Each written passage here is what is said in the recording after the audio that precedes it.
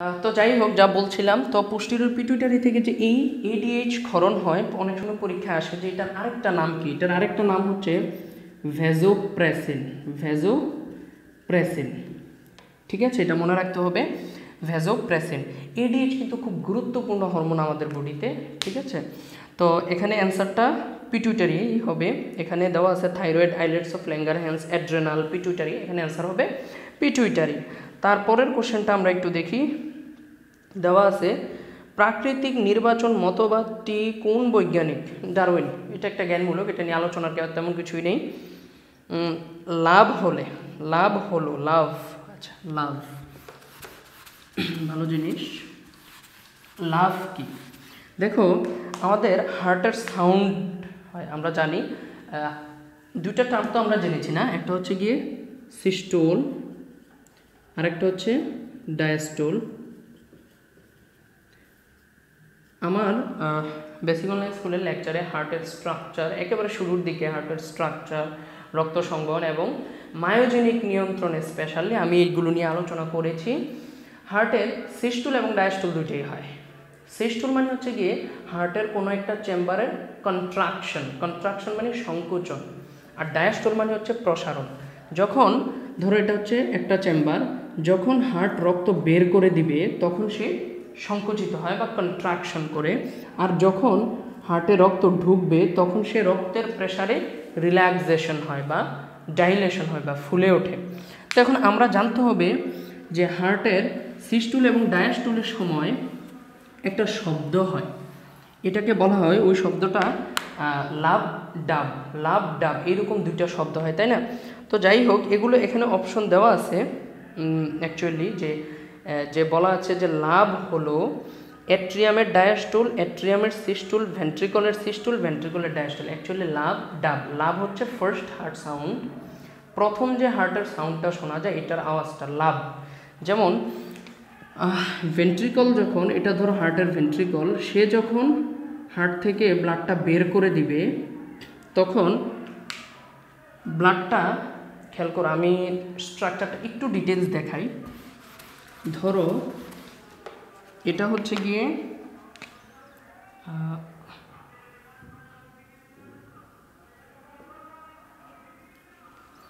এটা হচ্ছে গিয়ে, তো এখান থেকে অর্থাৎ এটাকে আমরা কি জানি? রাইট ভেন্ট্রিকল এটা হচ্ছে লেফট ভেন্ট্রিকল তাই না? রাইট ভেন্ট্রিকল লেফট ভেন্ট্রিকল আমরা জানি রাইট ভেন্ট্রিকল থেকে ওঠা যায় হচ্ছে গিয়ে ফুসফুসীয় ধমনী, তাই না? ফুসফুসীয় ধমনী রাইট ভেন্ট্রিকল থেকে উঠে যায়। আবার জানি লেফট ভেন্ট্রিকল থেকে উঠে যায় কে? মহাধমনী।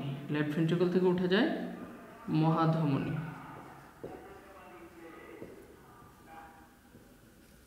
উঠে সারা দেহে রক্ত বহন করে। তো আমরা যেটা পেলাম লেফট ভেন্ট্রিকল থেকে উঠে মহাধমনী রাইট ভেন্ট্রিকল থেকে উঠে ফুসফুসীয় ধমনী। তো এখন রাইট ভেন্ট্রিকলের সংকোচনের মাধ্যমে কার্বন ডাইঅক্সাইড যুক্ত রক্ত ফুসফুসীয় ধমনী দিয়ে যায়। আর লেফট ভেন্ট্রিকল থেকে এর সংকোচনের মাধ্যমে অক্সিজেনযুক্ত রক্ত ধমনী, মহাধমনী দিয়ে যায়, তাই না?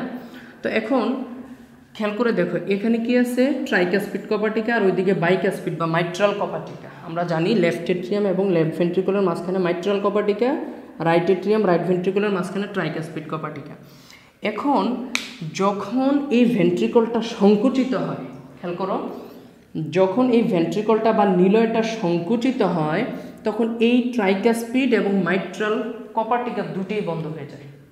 ট্রাইকাসপিড এবং মাইট্রাল কপাটিকা এই দুইটাই বন্ধ হয়ে যায়। তো এই যে কপাটিকাটা বন্ধ হয়ে গেল, এই কপাটিকা বন্ধ হওয়ার জন্য যে আওয়াজটা হয়, এটা হচ্ছে গিয়ে লাভ, এরকম লাভ, ঠিক আছে? এরকম টাইপের। পুরা লাভ না এরকম টাইপের একটা আওয়াজ শোনা যায়। তো এটাকেই লাভ সাউন্ডটা এখান থেকে আসছে। আবার মানে এটা এরকম আমরা আসলে অনেক সময় মজা করি যে মেডিকেলে এরকম মজা করা মানে ফ্রেন্ডরা মিলে একসাথে মজা করি আর কি যে যখন ধরো তুমি তোমার প্রিয় কাউকে দেখলা, তোমার হার্টের কন্ট্রাকশন বেড়ে যাবে। ঠিক আছে? ব্রেন অনেক কিছু চিন্তা করে তখন এই প্রিয় মানুষটাকে নিয়ে যে বিভিন্ন স্মৃতিগুলো মনে আসে, তাই না? তো বিভিন্ন স্মৃতিগুলো মনে আসে নিশ্চয়ই ব্রেনে ব্লাড সাপ্লাই বেশি হয়। কীভাবে? হার্টের কন্ট্রাকশনের মাধ্যমে বেশি ব্লাড সাপ্লাই হয়। একটা হার্টের কন্ট্রাকশন যখন করে ভেন্ট্রিকল তখনই ভাল্বগুলো বন্ধ হয়ে যায়। তখন লাভ লাভ লাভ আওয়াজ হয়, ঠিক আছে? তো যাই হোক ফান করে বললাম। তো আরেকটা হচ্ছে গিয়ে ডাব। ডাব সাউন্ডটা কখন হয়? খেয়াল করো, যখন এই, এটা তো হচ্ছে গিয়ে নিলয় বা ভেন্ট্রিকলগুলো সংকোচন করার মাধ্যমে হার্ট থেকে রক্ত বের হয়ে গেল, তাই না? এখন হার্টের এই নিলয়গুলোতে যখন এট্রিয়াম থেকে রক্তটা আসে, রক্ত যখন এট্রিয়াম থেকে ভেন্ট্রিকলের দিকে আসে, তখন আবার এই এওটার ভিতরেও কিন্তু বাল্ব আছে, ঠিক আছে? এওটা বা মহাধমনী এবং ফুসফুসীয় ধমনির কাছেও কিন্তু এখানে বাল্ব আছে। তখন হয় কি এই ভাল্বগুলা বা এই কপাটিকাগুলো খুলে যায় আর এই কপাটিকাগুলো বন্ধ হয়ে যায়। তো এই কপাটিকা বন্ধ হওয়ার সময় ডাব একটা আওয়াজ হয়, ডুব এরকম টাইপের একটা আওয়াজ হয়। এটা হচ্ছে কি আমাদের সেকেন্ড হার্ট সাউন্ড তাহলে হার্টের যে আমরা সাউন্ডগুলো শুনতে পারি, এটা হচ্ছে গিয়ে চারটা হার্ট সাউন্ড আছে বাট মেনলি দুইটা, তোমাদের দুইটা জানলেই হবে। ফার্স্ট হার্ট সাউন্ড যেটা, এটা আমরা শুনতে পারি এমন টাইপের কীভাবে? ভেন্ট্রিকল সংকোচনে হার্ট থেকে রক্ত বের হয়ে যায়। আবার ভেন্ট্রিকলে যখন রক্ত আসে, তখন ফুসফুসি এবং অ্যাওরটিক যে কপাটিক এটা বন্ধ হয়ে যায়। তখন আমরা এমন শব্দ শুনতে পারি। তো যাই হোক, এখানে ভেন্ট্রিকলের সৃষ্ট হবে অ্যান্সার তো এবার চলো সামনের দিকে যাই।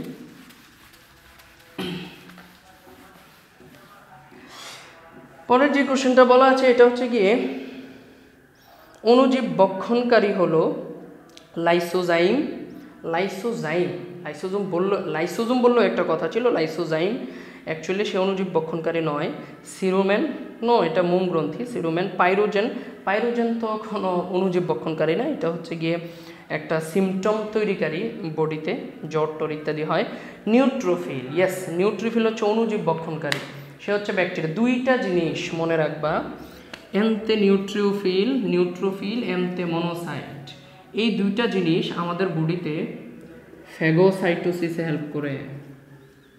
ফ্যাগোসাইটোসিস। কে? নিউট্রোফিল এবং মনোসাইট এই মনোসাইটটা কখন ফ্যাগোসাইটোসিস করে? সে অ্যাকচুয়ালি রক্ত থেকে যখন বের হয়ে টিস্যু স্পেসে চলে আসে মানে হচ্ছে কোষের কোষগুলোর মাঝখানে মাঝখানে চলে আসে, সে বিশাল বড় আকৃতির হয়ে যায়। তখন তার নাম আর মনোসাইট থাকে না। তখন তাকে বলা হয় ম্যাক্রোফেজ ঠিক আছে? এই ম্যাক্রোফেজ খুবই খারাপ। খুবই ভালো। আমাদের দেহের জন্য, ব্যাকটেরিয়ার জন্য খুবই খারাপ বা বিভিন্ন জীবাণুর জন্য। সে একসাথে মোটামুটি একশোটা ব্যাকটেরিয়া খাইয়ে ফেলতে পারে, বক্ষণ করতে পারে। আর নিউট্রোফিল মোটামুটি পাঁচ থেকে বিশটা। এর বেশি ব্যাকটেরিয়া সে বহন করতে পারে না। তারপরও ফ্যাগোসাইটোসিস প্রক্রিয়া জীবাণু তো বক্ষণ করে সো এটার অ্যান্সার হচ্ছে গিয়ে নিউট্রোফিল তারপরে আসো। স্মৃতিচারণমূলক সারাদান কোন ধরনের ট্যাক্সিস? নেমোট্যাক্সিস। অ্যান্সার হবে নেমোট্যাক্সিস। তোমরা ট্যাক্সিসের ভিতরে এটা পাবা যে স্মৃতিচারণমূলক হচ্ছে গিয়ে নেমোট্যাক্সিস। এটা নিয়ে ট্যাক্সিস নিয়ে আলাদা লেকচার থাকবে এবং হচ্ছে আরও ডিটেলস আলোচনা করব আরেকটা সলভ ক্লাসে তারপরের কোশ্চনটা দেখো, রিপনের ব্লাড গ্রুপ ও নেগেটিভ রিপনের রক্তের বৈশিষ্ট্য কোনটি? শুধু বি অ্যান্টিজেন উপস্থিত এ ও বি উভয় অ্যান্টিজেন আছে, শুধু এ অ্যান্টিজেন উপস্থিত এ ও বি কোনোটিই নেই। ও ও মানে হচ্ছে গিয়ে তার এ ও বি অ্যান্টিজেন কোনোটাই থাকবে না। এটা তো আমরা জানি, রক্তের গ্রুপ কী কী হইতে পারে? এ বি এ বি ও এটা হচ্ছে এ বি ও সিস্টেমে অ্যান্টিজেন হচ্ছে এ বি এ বি ও এবং যার এ অ্যান্টিজেন এটা হচ্ছে গিয়ে অ্যান্টিজেন যার এ অ্যান্টিজেন থাকবে, তার বি অ্যান্টিবডি থাকবে। বি অ্যান্টিবডি, কখনোই তার এ অ্যান্টিবডি থাকবে না। কারণ এ অ্যান্টিবডি এ অ্যান্টিজেনকে কোয়াগুলেট করে ফেলে। কোয়াগুলেট করে ফেলে এটা হচ্ছে একটা process one kind of process of destruction of any antigen কোনো একটা অ্যান্টিজেন ডিস্ট্রাকশন করার একটা প্রসেস হচ্ছে কোয়াগুলেশন এই অ্যান্টিবডি তার স্বজাতি এ অ্যান্টিজেনকে কোয়াগুলেশন করে ফেলে বা ধ্বংস করে ফেলে। আর যাদের বি অ্যান্টিজেন থাকবে তার এ অ্যান্টিবডি থাকবে। কখনোই বি অ্যান্টিবডি থাকবে না। আর যার এ বি দুইটা অ্যান্টিজেনই থাকে, তার কোনো অ্যান্টিবডি থাকবে না নো অ্যান্টিবডি কারণ তার যদি বি অ্যান্টিবডি থাকে, সে বিকে নষ্ট করে ফেলবে এ অ্যান্টিবডি থাকলে একে নষ্ট করে ফেলবে। আর ওতে যে তো কোনো অ্যান্টিজেনই নাই সো তার এ বি দুইটা অ্যান্টিবডি থাকতে পারে। তো তোমাদের এখানে ছোটো হাতে এ বি লিখলেও তারা অ্যান্টিজেনই বুঝিয়েছে। প্রথমে আমি ভেবেছিলাম যে এটা হয়তো অ্যান্টিবডি কিন্তু না, পরে দেখলাম না, এটা অ্যান্টিজেনই তারা বুঝাইছে আসলে। তারপরে কোন ব্লাড গ্রুপের রক্ত রিপন গ্রহণ করতে পারবেন? যে যেরকম সেরকম ও নেগেটিভ ঠিক আছে? এটার অ্যান্সার হচ্ছে ঘ। তো যাই হোক, এই ছিল টেস্ট পেপার সলভ ক্লাস তার উপরে যদি আরও কোনো কোশ্চেন তোমাদের থাকে, অবশ্যই কমেন্টসের মাধ্যমে জানাবা। হচ্ছে বেসিক অনলাইন স্কুলের সাথে থাকবা সাপোর্ট দিয়ে যাবা। ঠিক আছে? আল্লাহ হাফিজ। আসসালামু আলাইকুম।